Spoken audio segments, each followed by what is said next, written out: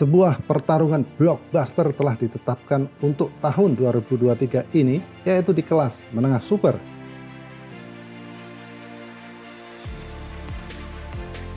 Pada paruh pertama tahun 2023, seorang David Benavides akan melawan Caleb Lane untuk perjalanan mereka yang lebih dekat dengan Canelo Alvarez dan orang-orang sejenisnya di atas ring. Caleb Lane yang berusia 30 tahun dan mempunyai rekor 22 menang satu kalah ini telah meraih kemenangan terakhirnya saat melawan Anthony Jairo pada 15 Oktober kemarin. Dan Benavides yang berusia 25 tahun di sisi lain tidak terkalahkan dengan 26 kemenangan profesionalnya. Dan saat ini Benavides telah memegang gelar sementara WBC kelas menengah super dan berharap untuk menghadapi Alvarez di atas ring Meskipun pertarungan antara Caleb Lane versus David Benavides belum diumumkan secara resmi, tetapi itu tidak menghentikan kedua petarung untuk mengklaim bahwa pertarungan mereka telah ditandatangani dan disepakati. Secara umum, selain Canelo Alvarez, Caleb Lane dan Benavides dianggap sebagai dua petarung paling terampil di seluruh divisi kelas menang super saat ini, dengan pemenang dari laga mereka akan menghadapi Canelo Alvarez dan mengingat perseteruan mereka yang telah berlangsung cukup lama, banyak nama di luar divisi mereka yang dengan sabar saat ini menunggu hasil akhirnya itu. Lane tidak terkalahkan sebagai petinju profesional sampai dia bertemu dengan Canelo Alvarez di bulan November tahun 2021 yang saat itu dia kalah TKO pada ronde ke-11 dan bulan lalu Lane telah bangkit dari kekalahan itu saat dia berhasil mengalahkan Anthony Jarrell melalui KO pada ronde ke-9.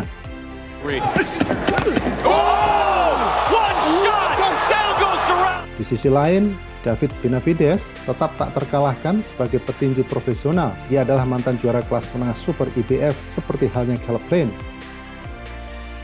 Ia menjadi juara interim dalam pertarungan terakhirnya melawan David Lemix dengan mengalahkannya melalui TKO pada ronde ketiga. David Benavides telah berhasil mengalahkan petinju-petinju seperti Anthony Jairo, David Lemix, Ronald Ellis, dan banyak lagi. Sedangkan Caleb Lane telah mengokohkan warisannya sebagai salah satu yang terbaik dari generasi ini di divisi kelas menang super dan yang terakhir juga menyatakan bahwa itu akan menjadi turu balas dendam untuknya.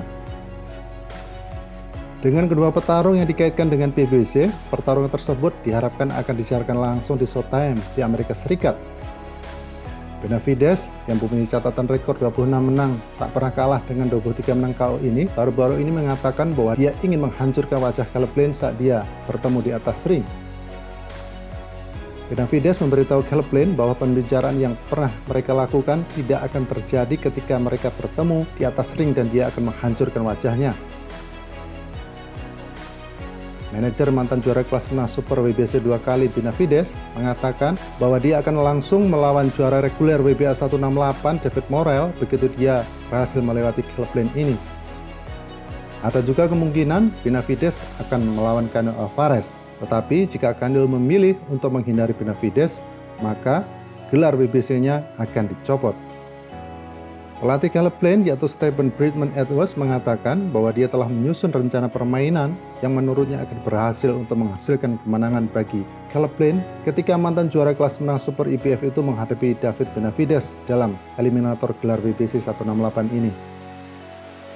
Lane terutama dikenal sebagai petinju murni sepanjang 9 tahun karir profesionalnya. Tetapi dalam pertarungan terakhirnya saat dia melawan mantan juara WBC dua kali di 168 Anthony Darrell pada bulan Oktober kemarin, ia telah menampilkan sesuatu yang langka. Kekuatan tersembunyi dengan sebuah pukulan KO hook kiri yang membuat mantan juara itu tertelungkup di atas kanvas.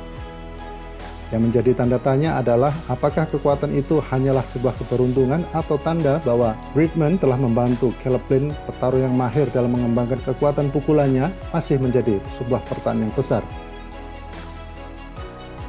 Kita melihat bagaimana Jermel Charo dalam semalam bisa berubah dari petarung yang terampil menjadi salah satu pemukul dengan kekuatan terbesar dalam permainan yang dilakukan pada tahun 2015. Apakah Bridman melakukan sesuatu yang serupa dengan Caleb Lane ini? Jika demikian halnya, maka Benavides bisa berada dalam masalah yang serius. Mantan juara kelas menengah Super IBF, Caleb Lane, merasa sangat yakin bahwa dia memiliki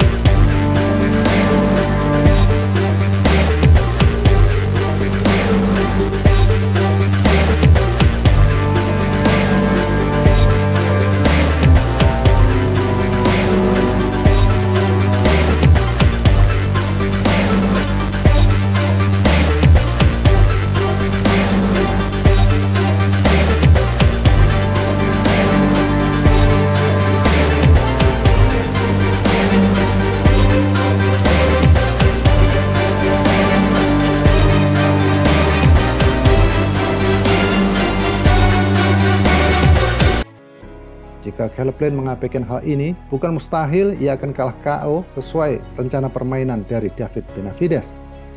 Sementara David Benavides mungkin hanya perlu mewaspadai pukulan keberuntungan dari Caleb Lane ini, karena secara teknis, Caleb Lane mungkin hanya akan sering berlari mengitari ring sambil sesekali memberikan jab, sembari menunggu momen keberuntungan itu datang. Sahabat tinju dunia, bagaimana menurut Anda jika pertarungan antara David Benavides versus Caleb Lane ini terjadi.